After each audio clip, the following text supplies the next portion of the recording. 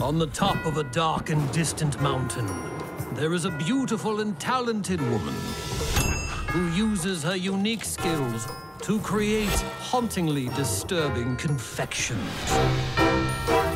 She finds beauty in the art of darkness with each creation and shares them with us, the unusual creatures she has taken into her home.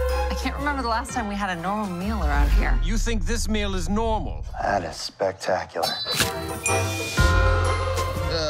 Sugar. Once this cools down, we'll be ready to carve a face. I used royal icing in a piping bag. Oh, I get it. What part can I help with? You're a pretty little princess. Don't wait up.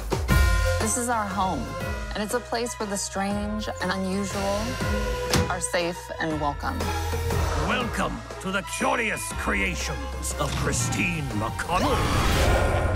I do think we should kill him. With kindness. Oh, that takes so long.